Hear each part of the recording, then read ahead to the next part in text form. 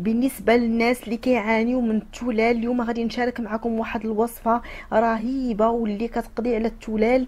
آه، بمجرد ما كتوضعوا هذا المكون هذا على التلال فهو كيبس كيموت وكيختفي ليه الاثار آه، هذا المكون هذا اللي هو البطيخ الأحمر كيعطي واحد النتيجة يعني رهيبة في علاج التلال. مهما كان عندكم يعني منتشر في الجسم ديالكم فغتقولوا bye bye شي حاجة سميتها التلال مع هذه الوصفة هذه اللي غنعطيكم اليوم إن شاء الله.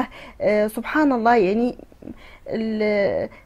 يعني مجرد ما كتوضعوا هذه الوصفة هذه آه، فغتلاحظوا بأن التلال بدا يعني تيتقشر وبدا يعني تيتحيد. آه، المهم تبعوا معايا الوصفة حتى للتالي ما تنسونيش واحد like الفيديو هكا باش تشجعوني. وكذلك إلا كنتو جداد فتنقول لكم مرحبا بكم. ما تنسوش تنضموا للعائلة ديالنا. فعلوا كذلك زر الجرس باش دائما فيما نحط شي فيديو. تبقاو نتوما الاولى اللي كتوصلوا به إن شاء الله. هنا كما كتشوفوا معايا غادي نبداو على بركة الله. أول حاجة غنحتاجوا البطيخ الأحمر اولا الدلاح كما كنسميوه بالدارجة. غناخذوا القليل منه يعني غنحكوا واحد ل... واحد القطعة هكا صغيرة ديال البطيخ الأحمر بهذا الشكل. يعني كناخذوا العصير ديالو. بالنسبة يعني آه، إلا بغيتوا شي وصفة يعني خليوا لي في التعليقات أسفل الفيديو كتبوا لي الوصفة اللي بغيتوا إن شاء الله نشارك معكم كاع الوصفات اللي غتطلبوهم مني إن شاء الله. هنا كما كتشوفوا معايا غناخذوا هاد الكمية هذه ديال العصير بهذا الشكل هذا. غير كنديروا غير واحد الكمية قليلة. تقريبا واحد معلقة كبيرة. آه من بعد غادي نخليو هذا على جانب. وغادي ندوزو ناخدو تاني مكون اللي هو الثومه أو الثوم الأحمر. غنحتاجو الثومه تكون حمراء من أحسن تكون ثومه حمراء يعني يكون فيها الدواء. وكناخدو واحد الفص ديال الثومه غير فص واحد ديال الثومه وكنحكوه في الحكاكة. ولا كنبشروه.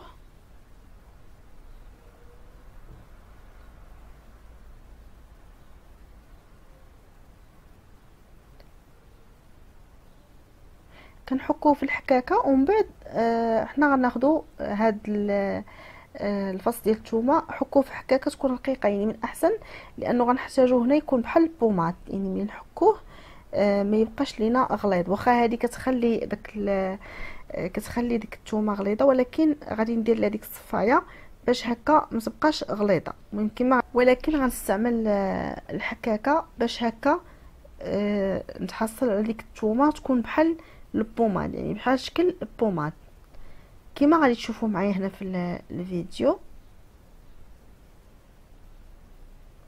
بهذا الشكل.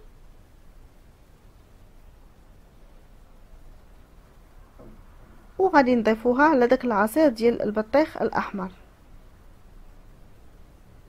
بهذا الشكل كما كتشوفوا معايا.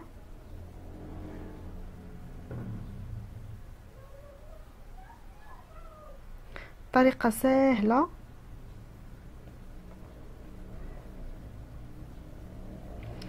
آه غير فص واحد ديال الثومه كيف ما كيف ما قلت لكم.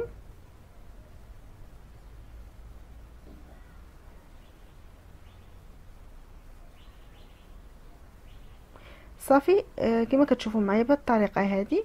وكنخلطوا مزيان.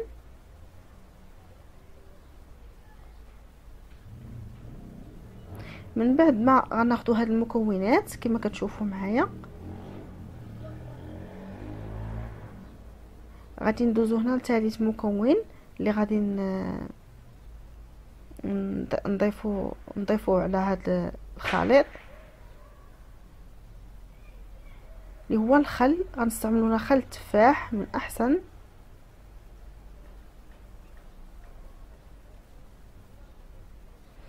تقريبا كندير واحد المعلقة صغيرة ونخلطوا المكونات مزيان. هاد الوصفة راه ساهلة راه تحضروها في خمسة ديال الدقائق يعني ساهلة ماشي صعيبة حتى المكونات ديالها ساهلين وبساطين. من بعد غناخذوا زيت الخروع اللي حتى هو آه تيقضي لنا على تولال.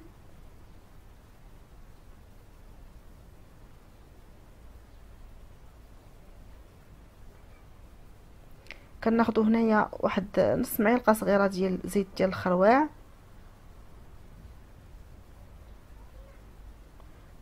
ونخلطوا مزيان المكونات ديالنا.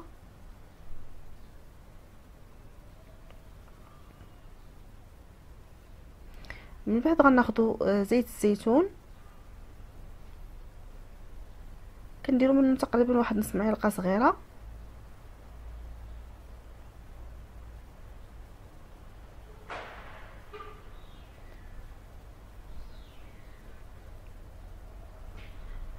فهاد المكونات كاملين كما شفتوا معايا كلهم آه تنضيفوهم كما شفتوا معايا على هذوك المكونات الأولين.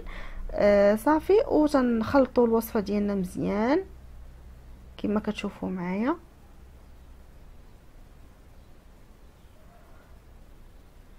هذا هو الخليط ديالنا.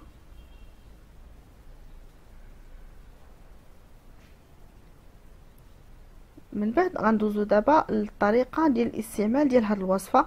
آه، أول حاجة يعني غناخذوا هذاك العويدات ديال الودنين ناخذ العويدات ديال الودنين وغنبداو تن نوضعوهم في هذاك الخليط وتنوضعوه على التولال يعني لما كانت التولال ما عندكم شي تولالة غتوضعوا عليها بهذه الطريقة توضعوا عليهم على هذاك الخليط بهذا الشكل. وكتخليوه حتى ينشف يعني كتخليوه ما كتغسلوش هذاك البلاصة كتخليوه وراه بهذه الطريقة هذه. غادي إن شاء الله تخلصوا من التولال لأن الوصفة هذه سهلة وكتعطي نتائج يعني سريعة في إزالة التولال راه حتى ولو كان عندكم يعني منتشر بزاف فغادي إن شاء الله تخلصوا منه.